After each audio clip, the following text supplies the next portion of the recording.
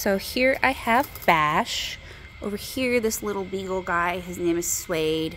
He was my, my last appointment. He just hasn't been picked up yet. And Bash hates waiting in a kennel. Bash. Yes, good.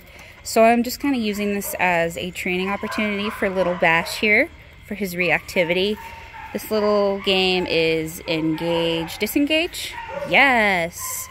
So whenever Bash notices the other dog or people that are walking past here, there have been a couple people. Bash, come. Yes.